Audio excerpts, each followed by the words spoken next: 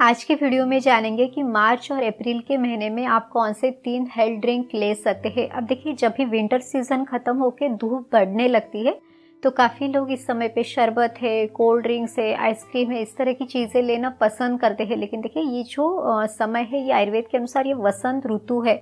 अब जो पहले ठंडिया हुई तो उस समय पे शरीर में कफ दोष जमा होता है और जब धूप बढ़ने लगती है तो ये कफ पिघल के इसका प्रकोप होता है तो ये वसंत ऋतु का समय, कफ के प्रकोप का समय है। इस समय पे हमारा जठराग्नि कम रहता है और कफज विकार, यानी जैसे सर्दी, खांसी या फिर वायरल इन्फेक्शन है, इसके होने का चांस ज़्यादा रहता है। तो इस ऋतु में हमने खान पान का ध्यान रखना बहुत ज़रूरी है।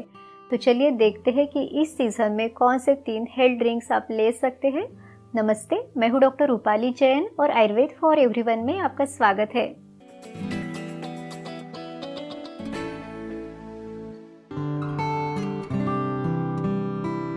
सबसे पहला जो हेल्थ ड्रिंक है, वो है शहद का पानी। अब देखिए, ये जो शहद है, ये शरीर में कफ को कम करता है। इसका लेखन कर्म बताया हुआ है। अब ये जो कफ कम करने वाला इसका नेचर है, इसीलिए जितने भी जैसे चूर्ण है, जो भी सर्दी, खांसी में जो चूर्ण दिए जाते हैं, जैसे कि सितोपल आदि चूर्ण है तो ये हमेशा शहद के साथ मिक्स करके दिए जाते हैं, ताकि ये शहद भी कफ को कम करने के लिए आपको मदद कर सके। तो इस वसंत ऋतु में जो शहद का पानी आपने लेना है, उसमें एक ही सावधानी आपने लेनी है कि शहद को कभी भी गर्म पानी के साथ या गुनगुने पानी के साथ आपने नहीं लेना है।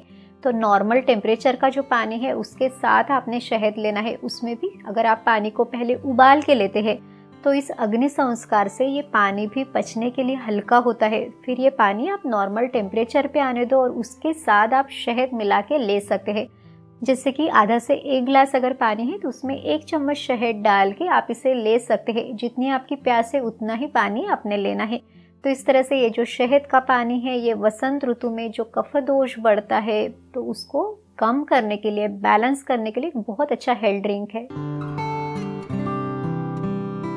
दूसरा जो हेल्थ ड्रिंक है, वो है छाछ, यानी बटर मिल्क तो ये छाछ भी घर पे बना हुआ, फ्रेश बना हुआ जो आपने फ्रिज में नहीं रखा है तो इस तरह का छाछ आपने लेना है। अब देखिए, ये जो आयुर्वेद में तक्र बताया है, छाछ को आयुर्वेद में तक्र कहा जाता है तो इसके गुण जो है तो ये लघु है, यानी पचने के लिए ये बहुत हल्का है, दीपन करने वाला है, यानी हमारे जठराग्नि को ये बढ़ाने वाला है, ये कसेले स्वाद का है और साथ ही में ये शरीर में कफ को कम करने वाला है। तो वसंत ऋतु में जो खान पान बताया जाता है कि इस तरह का खान पान आपने लेना है तो इसमें हल्का खान पान जो अग्नि को आपके बढ़ाए, कसेले, स्वाद का तो ये सभी चीज़ें आयुर्वेद में वसंत ऋतुचर्या में बताई हुई है। तो इसके अनुसार ये जो छाछ है, ये हमारे लिए बहुत अच्छा है।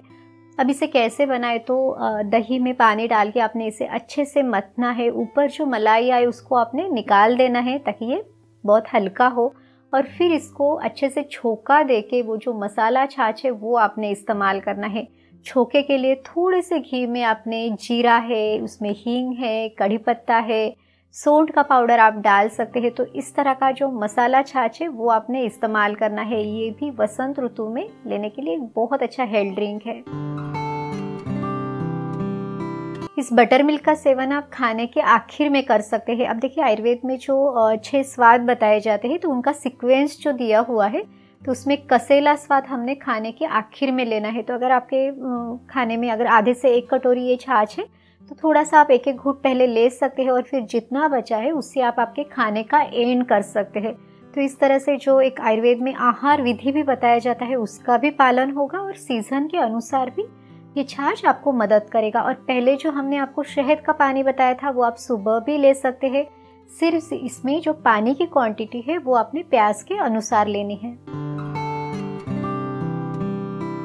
तीसरा जो हेल्थ ड्रिंक है, इसके लिए आपने लगभग एक गिलास पानी लेना है, इसको उबालने के लिए रखना है और इसमें आपकी पसंद के अनुसार जो भी स्पाइसेस है, जैसे कि सोंठ है, अजवाइन है, काली मिर्च, लौंग या जीरा, ये आपने इसमें डालना है। उबालते समय इसमें ये जितनी भी औषधियाँ है, ये शरीर में कफ को कम करने के लिए बहुत अच्छे से मदद करती है।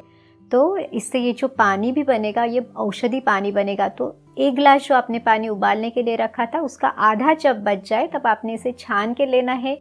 ये आप सुबह के समय भी एक एक घूट ले सकते हैं तो ये शरीर में जो कफ बढ़ा हुआ है, उसको कम करने के लिए मदद करता है, भूख को खोलने के लिए, यानी जो हमारा जठराग्नि है, उसको प्रदीप्त करने के लिए ये पानी भी बहुत अच्छे से मदद करता है। जो भी मसाले हैं, वो आपके पसंद के अनुसार आप कम या ज़्यादा कर सकते हैं। तो इस तरह से आज के वीडियो में हमने मार्च और अप्रैल के महीने में कौन से तीन हेल्थ ड्रिंक्स आप ले सकते हैं, इसके बारे में जाना। उम्मीद है ये वीडियो आपकी मदद ज़रूर करेगा। तो चलिए फिर मिलते हैं अगले वीडियो में। आयुर्वेद को अपनाइए, स्वस्थ रहिए। नमस्ते।